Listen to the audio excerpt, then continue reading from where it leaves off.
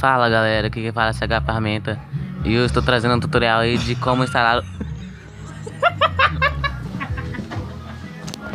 Fala galera, aqui quem fala CH Ferramenta?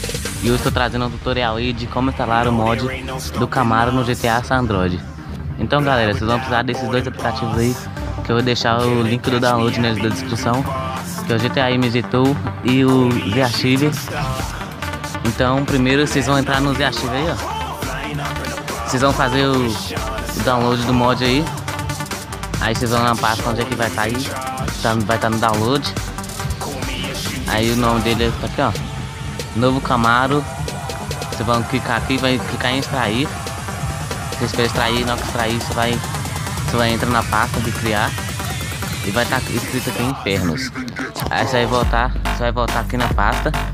E vai voltar. Vai entrar no aplicativo GTMG Tool. Aí aqui vocês clicam em OpenMG. Aí vocês vão em Android. Data. Aí aqui vocês procuram a pasta com.games.gta.sa Que é a pasta do GTA Android. Aí vocês procuram ela aí, ó. Aqui achei aqui. Aí você entra em Files, TextDB, GTA3.img e clicam em Select.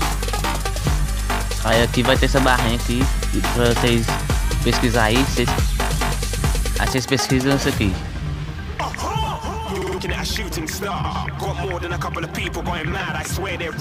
Aí vocês clicam nele e segura, galera. E aperta replay. Aí vocês procuram onde é que tá a pasta do, do Camaro, que está aqui em download. Novo Camaro. E clicam no arquivo. E clica em select.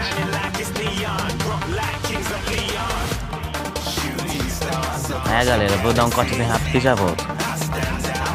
Aí galera, agora vocês procuram um carro aí. Veículos 3. Vocês dão um menos aí, Aí ele tá aqui. E esse aí é o Camaro, galera.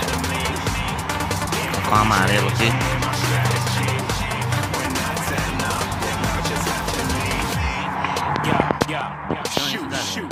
Valeu, dá um like, inscreva-se no canal e compartilhe esse vídeo.